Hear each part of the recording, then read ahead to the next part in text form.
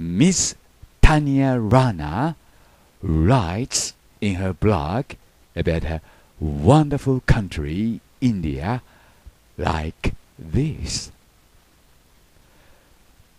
Driving across Uttarakhand on the way from Pitolagarh to Almora, you come across Jagashwar Temple complex.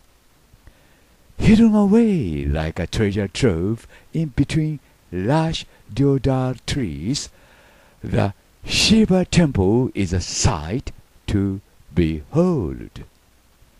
The dark green deodar leaves are in perfect sync with the black temple stone, blue rivulet, and gray sky, almost like nature wants you to enjoy this natural photo filter. 古代文明の宝石箱。それがインドということになります。タニア・ラーナさんはインドで訪れるべき寺院としてこうした寺院を紹介しておられます。がこれらは本当に人間によって建てられたものなのでしょうか。エロラ寺院を例に挙げて今日はインドの宝石箱について考えてみます。広し林浜祭りジャパン。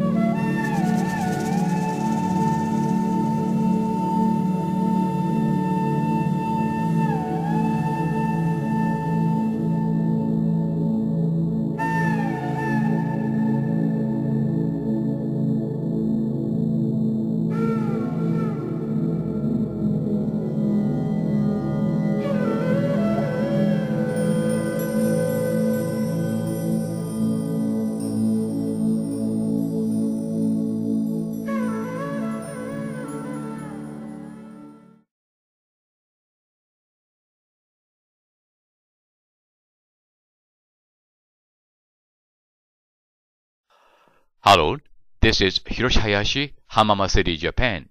Alien's Masterpiece, A Mystery of Aurora, India. Its Evidence and Proof. エイリアンの建築物、インド、エローラ。その証拠と証明。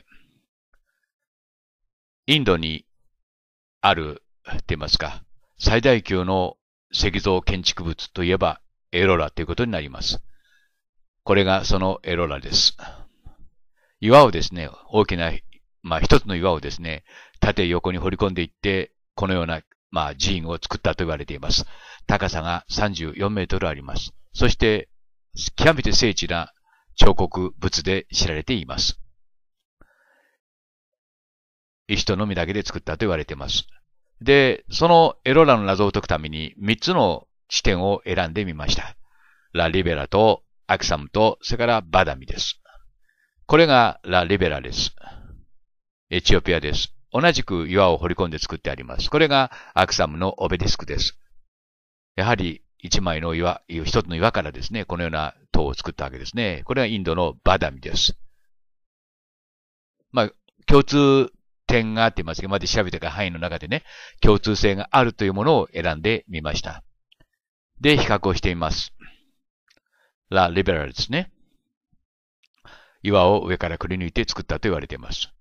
で、このラ・リベラと、えー、アクサムのオベリスと比べてみます。これはまあ、いろいろ精査していましたけども、今日は一箇所だけ紹介しますが、それで十分かと思われます。この頂上と窓の部分を比較してみてください。同じ形だということにお気づきになると思います。いわゆる共通性があるわけですね。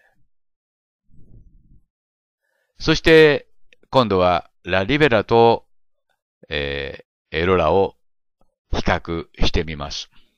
共に岩を掘り込んで作ってあるという意味で、建築の方法がですね、同じと考えます。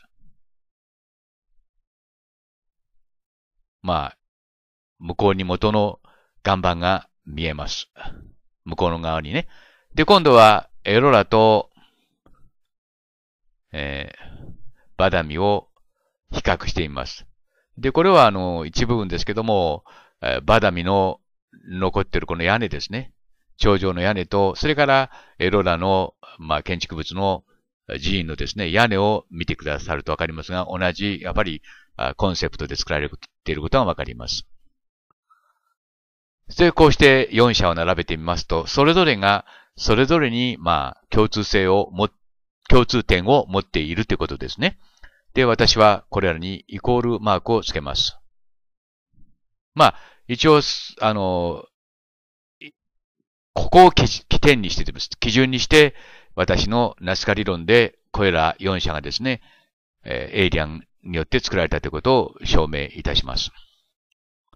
まあ、これ全体像ですけども、まずエロラからナスカに線を引いてみます。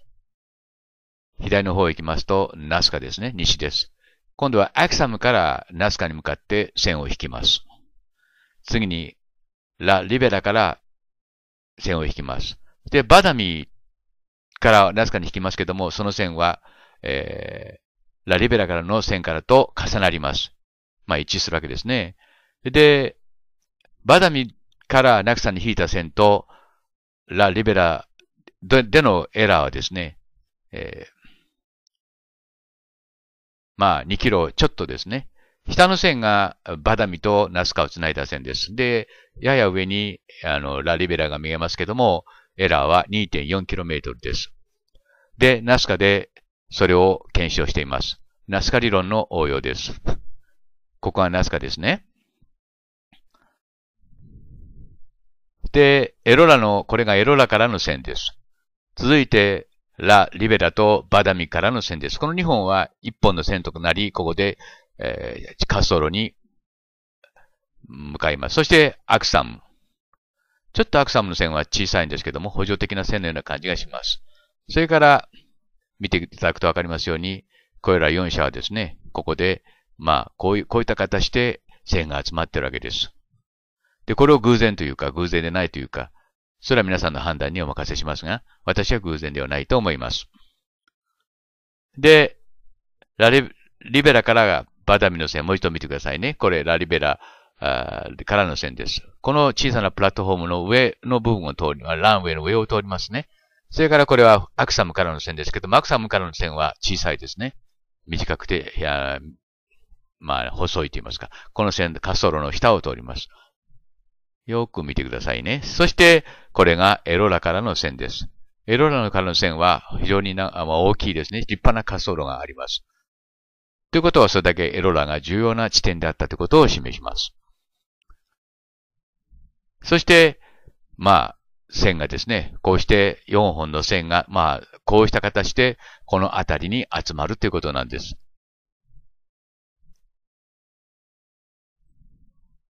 で、これらが、これが、あ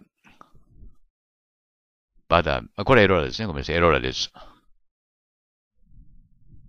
まあ、これを見てですね、まあ、改めて見直してみて、この向こうに我我々が神と呼ぶエイリアンが、まあ、活躍していたというふうに考えても、なんだおかしくはないと思います。ということで、今日はエロラの謎について迫ってみました。どうもご覧になってくださりありがとうございました。続くナスカ理論を、えー、どうかご覧になってください。Thank you very much and see you again. Bye.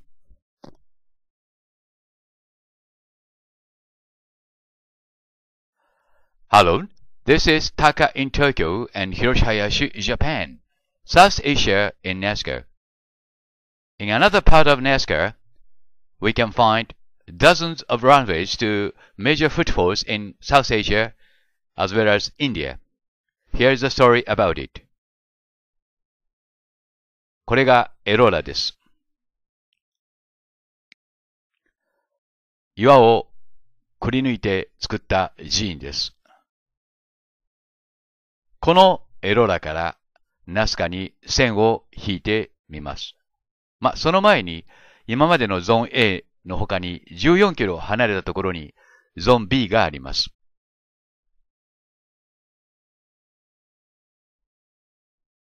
このゾーン B には南アジア、あるいはインドからの直線が集まっています。言い換えますと、この辺りには南アジア、インドへの滑走路が集まっています。少し見にくいので、明度を変えてご覧いただきます。無数のって言いますか、何十もの滑走路が走っているのがわかりますね。それぞれの滑走路がそれぞれの拠点を示しています。で、この中心あたりに穴があります。この穴に注意してください。緯度、経度はここに示しておきます。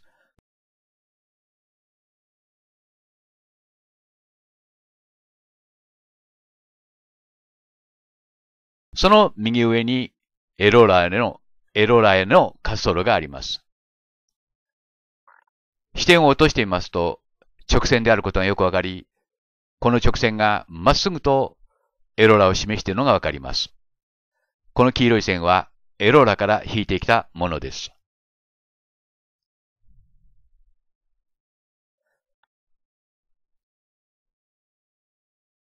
後の、この続くビデオの中でエローラの滑走路が出てきますが、そのエローラの滑走路とは違います。タカイン東京さんが教えてくださいました。他にも、この辺りには、まあ何本かの滑走路が集まっています。順に見ていきます。これらがエローラからの滑走路です。今、皆さんにお見せいたしました。次に、シギリアからの滑走路です。シギリアとワットポールは一直線に重なります。一直線上にあります。シギリアです。ワットポールです。そして、今度は、バンコクですね。タイのバンコクからの直線です。やはり、ぴったりと重なる滑走路があります。そして、エレファンタです。洞窟寺院です。こうして、この辺りには、南アジア及びインドからの、あるいはインドへの滑走路が集まっています。ということを頭に入れて次のビデオどうかご覧ください。Thank you very much and bye for now.